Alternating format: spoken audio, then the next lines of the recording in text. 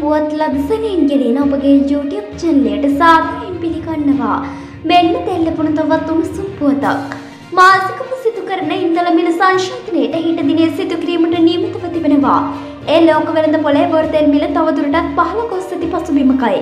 මේ තත්ත්වය සමග ඉන්ධන මිලෙහි විශාල වෙනසක් සිදුවනු ඇති බවටයි තොරතුරු වාර්තා වන්නේ. මෙන්න එම පුවත නැවතත්. මාසිකව සිදු කරන ඉන්ධන මිල සංශෝධනය හෙට දිනේ සිදු කිරීමට නියමිතව තිබෙනවා. ඒ ලෝක වෙළඳ පොලේ බොර්තෙල් මිල තවදුරටත් පහළ ගොස් ඇති පසුබිමකයි. මේ තත්ත්වය සමග මෙරට ඉන්ධන මිලෙහි විශාල වෙනසක් සිදුවනු ඇති බවට තොරතුරු වාර්තා වෙනවා. මෙන්න එම පුවත නැවතත්.